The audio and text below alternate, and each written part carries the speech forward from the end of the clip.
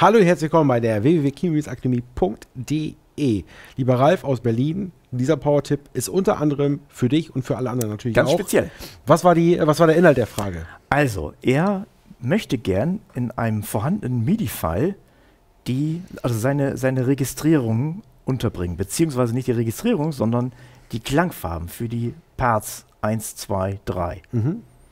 Und das möchte er nicht nur einmal haben am Beginn, das kann man da machen, sondern auch während des Stückes. Also sprich, wenn die Strophe beginnt, der Refrain sich ändert, mal wegen den Takt 40 und so weiter. Also er möchte zwischendrin die Klangfarben, die für die Tastatur gedacht sind, umschalten über das MIDI-File.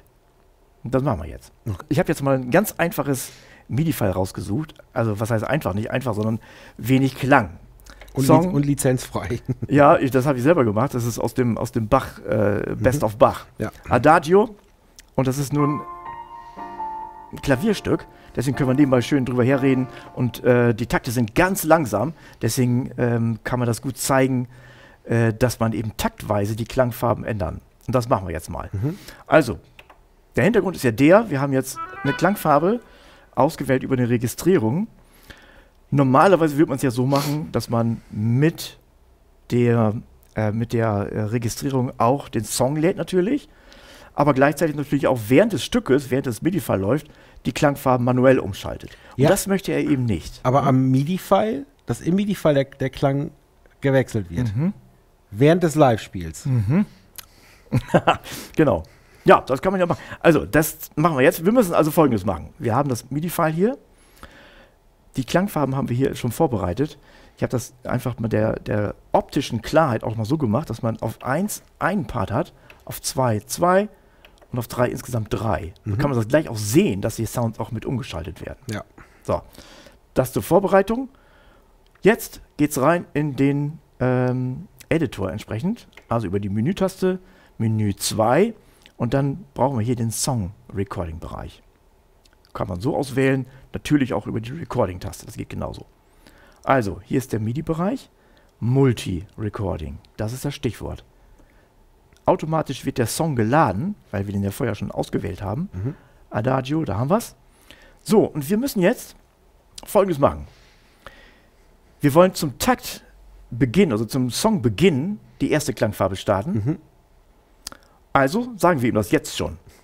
Song, äh, Klangfarbe 1 ist ausgewählt, die Oboe. Und wir müssen jetzt folgendes machen: Setup drücken. Dann hier unten Keyboard Voice auswählen. Das ist jetzt wichtig. Alles andere kennen wir, wenn wir MIDI-Files bearbeiten, Program Changes eingeben, Volume ändern und so weiter. Für die 16 MIDI-Spuren Mhm. ist das dann relevant hier oben. Das hier ist ergänzend dazu und bezieht sich eben auf diese Spielparts. Keyboard Voice, wir sagen ja sonst eigentlich, normalerweise macht man das nicht, weil man das immer also aufwendiger äh, rausoperieren muss, aber das geht auch alles. Machen wir jetzt gleich mal. Also, das ist zur Vorbereitung. Keyboard Mhm. Voice ist ausgewählt. Wir drücken Execute. Das war der erste Schritt. Jetzt können wir gleich wieder raus hier. Close. Jetzt wollen wir den zweiten Klang unterbringen. Und zwar im zweiten Takt. Sollte schon wechseln. Ich drücke hier drauf, gebe den zweiten Takt ein. Hier ist hier unser Zählwerk. Mhm. Also haben wir jetzt den zweiten Takt. 2.1, wählen den zweiten Sound aus. Jetzt haben wir Oboe mit Fagott drunter. Die Mhm. möchte ich jetzt unterbringen, exakt im zweiten Takt. Wiederum Setup drücken. Und jetzt müssen wir gucken. Jetzt haben wir nur noch eine Möglichkeit unterzubringen, nämlich unsere Ja, ich verstehe, aber jetzt musst du Execute drücken und er merkt sich das. Er merkt sich das. Execute. Das ist ja easy eigentlich. genau. Da jetzt kommt irgendwie so eine Nullen- und Einser-Geschichte. Ja, wir wollen ja gleich auch noch die wieder rausoperieren. Ja, das kriegen wir alles hin. Ja, ich bin ja auch da. So, du bist auch da, super. Ja. Nummer drei, ausgewählt. Und wir wechseln in den dritten Takt. Können ja auch hier navigieren, geht auch. Mhm. Aber hier 3.1. Und jetzt musst du wieder auf Setup Setup, richtig. und ja, genau. Keyboard Voice ist ausgewählt, Execute. Und er schreibt jetzt einen Sys-X-Strang in das MIDI-File hinein. Mhm. Und das müssen wir uns gleich mal angucken. Erst wollen wir aber mal schauen, ob es überhaupt geklappt hat. Mhm. Habe ich jetzt Execute, gedrückt? Habe ich, ne? Ja. Aber nochmal. du kannst ja auch viermal drücken. ne? Ja, das ist interessant. Also jetzt äh, kann ich ja von hier aus Close drücken. Mhm. Wenn man das gerade nicht gesehen hat, dann Ja. ähm, macht man das sicher jetzt aber nochmal. so, zurück zum Anfang. Also sprich Takt 1. Wir können natürlich auch hier einfach Stopp drücken, das ist das gleiche. Mhm. Und jetzt verfolgen wir das mal. Wir können hier schon mal schauen. Und ich starte jetzt äh, das MIDI-File. Kann ich hier. Wir sind ja noch im Editor drin. Mhm. Und ich starte jetzt von hier aus also. Nicht dort, das geht nicht. Sondern hier schon mal im Editor, ob überhaupt alles geklappt hat. Also wir starten jetzt. Play. Jetzt können wir das beobachten hier. Zwei.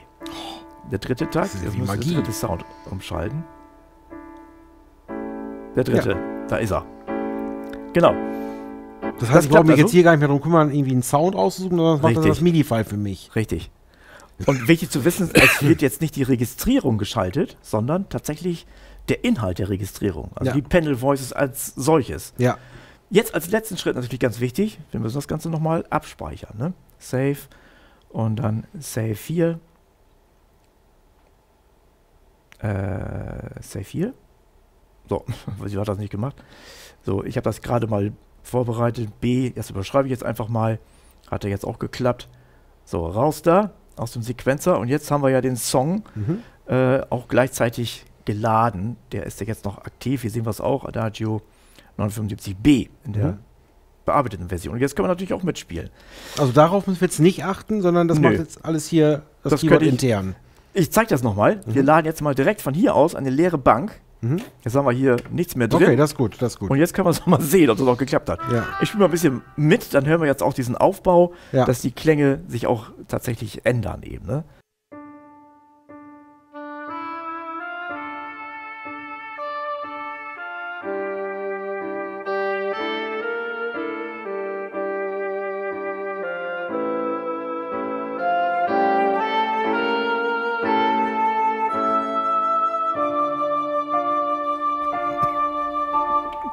Gute, so gute. Lösung. Genau. So, da, das ist jetzt die Geschichte. Jetzt haben wir also drei Klangwechsel in nur drei Takten untergebracht. Jetzt die Frage, jetzt gefällt uns das nicht. Äh, dass ich hätte jetzt nicht ähm, hättest gerne hier einen Saxophon. ein Saxophon als, als drittes zum Beispiel. Zum Beispiel, ne? Mhm. genau. Das heißt, wie kriegen wir denn diese Einstellung wieder raus? Das ist ja genauso wichtig. Ne? Mhm. Also, jetzt geht's weiter. Menü. Und wir gehen wieder über Menü 2 in den Song Recording Bereich und wieder auf Multi-Recording. Und ich hatte gerade schon gesagt, das sind ja SysX-Einträge, die wir gerade ähm, abgespeichert haben. Mhm. Also können wir jetzt über ähm, Step Edit, hier oben, den passenden Kanal auswählen, beziehungsweise kein Kanal, sondern die, den Bereich für SysX. Und das sehen wir hier, wenn wir auf die Seite 2 von 3, 3 von 3 und hier unten sehen wir SysX. Okay, das müssen wir uns anzeigen lassen. Und jetzt können wir auch diese Einträge wiederfinden. Wir sehen hier äh, Meta-Events Mhm. in Takt 2 und in Takt 3. Und wenn wir uns diese Zahlenkolonne quasi merken, aufschreiben, was weiß ich, dann finden wir die natürlich auch an allen möglichen Positionen wieder. Denn das sind genau diese Einträge, die wir da vorgenommen haben. Und wenn wir die rausschmeißen, hier oben ist ja noch einer eben, der ähm, Also äh, kann man- vorderen Bereich ist. Wenn das mit FF7F43, das glaube ich immer, glaube ich, ne? Und dann Ja. die letzten Zahlen Die sind dann entscheidend. das, die gehen ja noch viel weiter. Ja, ja, das zeigt ja genau. gar nicht alles an. Muss man ja auch gar nicht wissen, was das für eine Bedeutung hat. Man muss nur wissen, dass es die sind. Genau. Wenn man hinten liest 70, 66, 46, Dann, Dann- dann Bingo. dann ist es das, Ja, nicht? ja, ja. Jetzt können wir die von hier aus äh, löschen. Mhm. Zack, Delete. Gehen wir nochmal runter. Den nächsten auch. Wir schmeißen alle raus. Man kann hier auch zum Beispiel immer hier gucken, weil das hast du ja bei 3, Ja, da, da ist es dann, da muss es dann irgendwo sein. da muss er sein. Wenn du jetzt bei 54 bist, dann musst du irgendwo bei 54 gucken. So ist es. Ja, ja. Ganz genau. Ja, okay. Richtig. Das, da können wir ja auch ganz zielgenau Ja, genau, dann dahin, hinfahren. ne? Nicht? Genau. Also von hier aus wieder löschen. So, jetzt ist das Ding wieder weg. Und äh, ja, jetzt würde eben nichts passieren. Jetzt lassen wir mal kurz laufen. Und wieder hier gucken, ne? Ja, wir sind jetzt Takt. Jetzt kommt gleich der zweite. Es passiert nichts. Da müsste jetzt die Taste schon leuchten. Ja. Jetzt Das ist also gut, dass jetzt nichts passiert, ne? Das ist gut, ja, wir Ja. haben die gelöscht. Ja. Ne? Das soll jetzt auch nicht so sein. Ne? Ja. Ja, super. Das ist der Weg, um diese SysX-Information wieder rauszuschmeißen. Was auch noch geht, man, äh, wenn man sich das rauslöschen sparen will und man möchte einfach wirklich an der gleichen Stelle tatsächlich eine andere Klangfarbe über die Registrierung vorbereiten, kann man auch einfach an die Stelle äh, navigieren und punktgenau an dieser Stelle das alte Event überschreiben. Okay. Das funktioniert auch. Das ist also noch einfacher dann. Ne? Ja. Genau. Okay, So kann man das machen. super Idee. Also es, es muss jetzt nicht hier Adagio äh, sein, Nein, natürlich. sondern es kann auch ein Schloss am Wörthersee sein. Zum Beispiel. Ja, ein schönes Lied Nach, übrigens. deinem, Nach meinem Geschmack. nach deinem Geschmack. Helene Fischer. Aber das war nicht ganz so nervig, das war nicht so laut. Ja, ja, also, ja, da ja, kann ja, man ja. nebenbei Ja. reden. Ja, Ja. Genau. Ich bin auch gerade an einer neuen Software dran, sogar an zwei, nee, an drei. Und eine ist davon richtig hier Alama. Alama, Ja, da ist richtig, da wird das Tanzbein geschwungen. auch wenn es nur ein Ja. Hingebein ist. Ja, das ist egal, selbst du würdest tanzen. Ja, ja. Da muss dir aber was ganz gewaltig Tolles eingefallen sein. Es ist, es, ist, ist, es ist nicht ein Schloss am Wörthersee. Okay. Okay, dann geht mal gerne auf die Seite www.akademie.de. Auch dort haben wir ein Forum. Äh, dort könnt ihr immer eure Fragen reinstellen. Oder kommentiert mal unter diesem Video, hey, ist es was für euch? Ist es, wusstet ihr das schon? Ähm, kann man auch mit anderen ähm, Keyboard-Modellen Ja, ja, genauso ja. machen. Okay. Das Prinzip ist das gleiche. Ja. Genau. Ansonsten schreibt gerne auch nochmal eure, ähm, eure ähm, Ideen oder was ihr euch wünscht. Ich würde ja mich freuen, wenn ihr euch nochmal irgendwas so Lieder wünscht, die wir nochmal so nachbauen. Das finde ich immer cool. Ja, machen wir auch. So ein bisschen so, so Plattenkiste-mäßig, ja. Ja. Und ähm, da würde ich sagen, sehen wir uns nächste Woche wieder. Bis dann, sagt Dennis und Rainer von der www.akademie.de. Ciao, ciao. Tschüss.